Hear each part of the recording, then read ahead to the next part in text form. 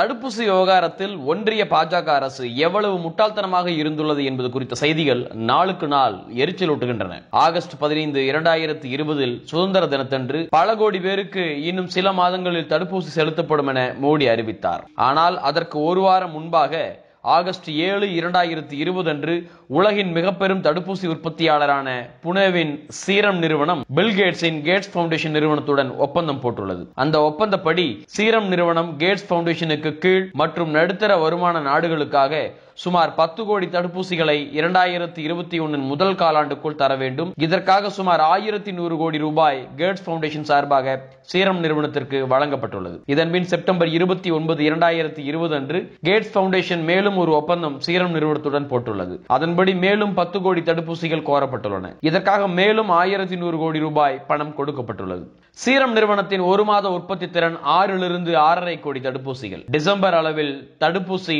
டபிள்யூஹெச்ஓவால் அங்கீகரிக்கப்பட்டது. டிசம்பரில் அங்கீகாரம் கிடைக்கும் என தெரிந்து வைத்திருந்த கேட்ஸ் பவுண்டேஷன் சீரம் நிறுவனத்தின் ஒரு மாத உற்பத்தி திறனை கணக்கில் கொண்டு ஜனவரி முதல் ஏப்ரல் வரையிலான மொத்த உற்பத்திக்கும் காசை கையில் கொடுத்து ஊசியை கொடுக்க வேண்டும் என மிக முன்னெச்சரிக்கையாக கேட்டுள்ளது. ஆனால் ஆகஸ்ட் பதினைந்து இரண்டாயிரத்தி இருபது அன்று மார்பு விரித்து அறிவித்த மோடி அடுத்த ஒன்பது மாதத்திற்கு எந்த ஒப்பந்தத்தையும் சீரம் நிறுவனத்துடன் போடவில்லை.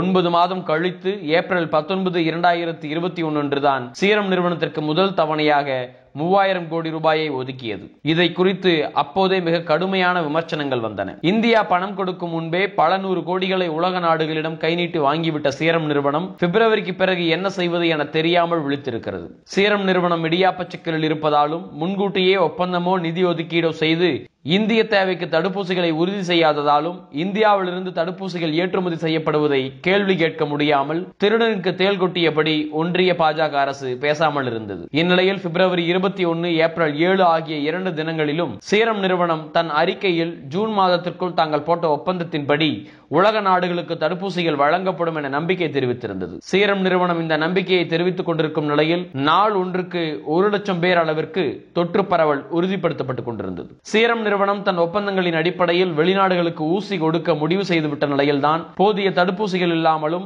தடுப்பூசி விவகாரத்தில் நந்தி போல திரைமறைத்துக் கொண்டிருக்கும் ஒன்றிய அரசு உண்மையில் என்னதான் செய்து கொண்டிருக்கிறது என தெரியாமலும் கதறத் தொடங்கின மாநில அரசுகள். தடுப்பூசி கையாள்கையில் மாநில அரசுகளும் பங்கெடுக்கும் வகையில் மொத்த உற்பத்தியில் ஐம்பது சதவீதத்தை ஒன்றிய அரசு தொகுப்புக்கும் மீதத்தை பொது சந்தைக்கும் என திருப்பிவிட்டது ஒன்றிய அரசு. ஏன் இந்த ஐம்பது சதவீத கணக்கு? சீரம் நிறுவனம் கேட்ஸ் பவுண்டேஷனுடன் போட்ட ஒப்பந்தத்தை காப்பாற்றிக் கொள்வதற்குத்தான் இந்த ஏற்பாடு. ஒரு மாத உற்பத்தியான ஆறு முதல் ஆறு புள்ளி ஐந்து கோடி ஊசிகளில் ஐம்பது சதவீதமான மூணு முதல் மூன்றரை கோடி ஊசிகளை இந்திய அரசுக்கு கொடுத்தால் மீதம் மூணு முதல் மூணரை கோடி ஊசிகள் இருக்கும். இவற்றை அடுத்த சில மாதங்களுக்கு தன் ஒப்பந்தக்காரர்களுக்கு கொடுத்து விடலாம் என திட்டமிட்டுள்ளது சீரம் நிறுவனம். ஏற்கனவே தொடங்கியிருந்த உற்பத்தி விகிதத்தை உயர்த்தும் முயற்சிகளின் மூலம் கிடைக்கும் ஊசிகளை மட்டும் இந்திய மாநில அரசுகளுக்கும் தனியாருக்கும் கொடுக்கலாம் என திட்டமிட்டிருக்கிறது சீரம் நிறுவனம். ஏப்ரல் இருபத்தி ஒன்னு வரை சீரம் நிறுவனம் ஆறு புள்ளி ஆறு கோடி ஊசிகளை ஏற்றுமதி செய்திருந்தது. அதிலும் ஒன்னு புள்ளி ஐம்பது கோடி ஊசிகள் மட்டுமே கேட்ஸ் பவுண்டேஷன் ஒப்பந்தத்திற்கும் அதன் கீழ் வரும் ஏழ்மை மற்றும் நடுத்தர வர்க்க வருமான நாடுகளுக்கும் கொடுக்கப்பட்டுள்ளது. மீதம் அனைத்தும் புதிய ஒப்பந்தங்களின்படி பல்லாயிரம் கோடி ரூபாய்க்கு விற்கப்பட்டுள்ளன. ஏப்ரல் பத்தொன்பதாம் தேதி ஒன்றிய அரசு அறிவித்த தடுப்பூசி கொள்கை மே ஒன்னு அன்று நடைமுறைக்கு வந்தது. ஆனால் ஏப்ரல் பத்தொன்பது அறிவிப்புக்கு பின் மே பதினொன்று வரை சீரம் நிறுவனம் ஏற்றுமதி செய்ய அனுமதிக்கப்பட்டே வந்துள்ளது. அதாவது இந்திய ஒன்றிய அரசுக்கு ஐம்பது சதவீத ஊசிகளை வழங்கிவிட்டு மாநில அரசுகள் தனியார் போட்டி போட்டு வாங்கத்தக்க ஊசி தொகுப்பிலிருந்து சில கோடி ஊசிகளை தன் ஒப்பந்தப்படி தொடர்ந்து ஏற்றுமதி செய்து வந்துள்ளது சீரம் நிறுவனம். இந்நிலையில் மே பதினொன்று அன்று பிரிட்டனுக்கு அனுப்ப வேண்டிய ஐம்பது லட்சம் ஊசிகளை தடுத்துள்ளது ஒன்றிய அரசு. இதனால் வேறு வழியின்றி தாங்கள் நிறுவனம் போட்ட ஒப்பந்தத்தின்படி தடுப்பூசிகளை வழங்க இந்த ஆண்டு இறுதி வரை ஆகும். ஒப்பந்தக்காரர்கள் தயவு செய்து பொறுமை காக்கவும் என மே பதினெட்டு அன்று அறிக்கை கொடுத்துள்ளது சீரம் நிறுவனம். இப்போதும் இந்தியாவிலிருந்து ஏற்றுமதி செய்ய வெளிப்படையான தடை ஏதும் அறிவிக்கப்படவில்லை.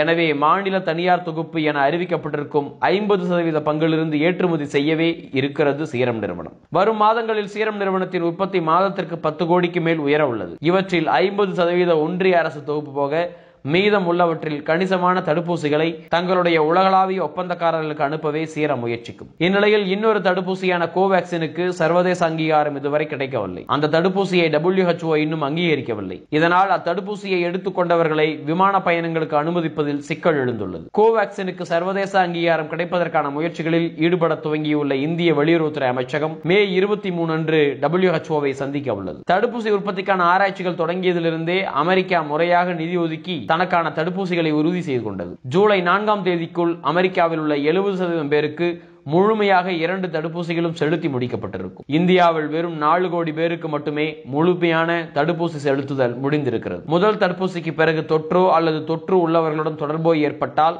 மூன்று மாதம் காத்திருந்து இரண்டாவது ஊசி எடுக்க வேண்டும் என்கிறது ஒன்றிய அரசு. அதேபோல் இரண்டாவது தடுப்பூசிக்கான கால இடைவெளியும் மூணு மாதத்திற்கு மேல் நீட்டிக்கப்பட்டுள்ளது. அதாவது முதல் தடுப்பூசிக்கு பின் தொற்று ஏற்பட்டாலும் இல்லை என்றாலும் மூன்று மாத காத்திருப்பு உறுதி செய்யப்பட்டுள்ளது. ஒரு நாளைக்கு எழுபது லட்சம் ஊசிகளை போட போகிறோம் என பிப்ரவரி பதினேழு அரசு சொன்னது முப்பது லட்சம் ஊசிகள் கூட நீடித்து போடவில்லை. ஆறு புள்ளி ஆறு கோடி மக்களுக்கு பத்து கோடி ஊசிகளை கையில் வைத்திருந்த பிரிட்டனை கோவிஷீல்டுக்கு பன்னெண்டு வார இடைவெளியை டிசம்பரிலேயே சொன்னது. ஆனால் கையில் ஊசியே இல்லாமல் இப்போது இரட்டிப்பாகியுள்ளது தடுப்பூசி கொள்கையை பாஜக அரசு மாற்றிக் கொண்டிருந்த போது நாற்பது வயதுக்கு மேற்பட்டவர்களின் தொற்று ஏப்ரல் பதிமூணிலிருந்து மே இருபதுக்குள் இரட்டிப்பாகியுள்ளது பன்னெண்டிலிருந்து பதினாறு வாரம் இடைவெளியை இப்போது சொல்லும் அரசு பிரிட்டன் போல ஜனவரியிலேயே அம்முடிவை எடுத்திருந்தால் சில லட்சம் தொற்று பல ஆயிரம் உயிர்கள் காப்பாற்றப்பட்டிருக்கும். இப்போது இரண்டாவது ஊசி எடுத்துக்கொள்வது இன்னும் சில மாதங்களுக்கு தாமதப்படும் எனில் இந்தியாவில் முழுமையான தடுப்பூசி பாதுகாப்பு பெற்ற மக்கள் திரளை உருவாக்க இன்னும் ஆறு மாத காலமாவது ஆகும். இந்தியாவிலேயே இருந்த தங்கள் சொந்த நாட்டிலிருந்து தடுப்பூசி உற்பத்தியாளரை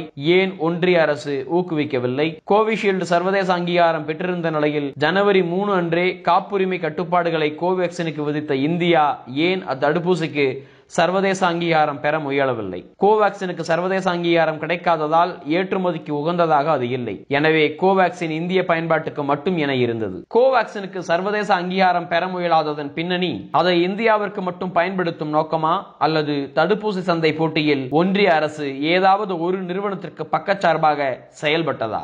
இப்படி பல கேள்விகள் விடை தெரியாமல் நீடிக்கின்றன.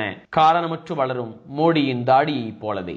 லைக் பண்ணுங்க ஷேர் பண்ணுங்க கீழே கமெண்ட் பண்ணுங்க. மின்னம்பலம் யூடியூப் சேனலை சப்ஸ்கிரைப் பண்ணுங்க.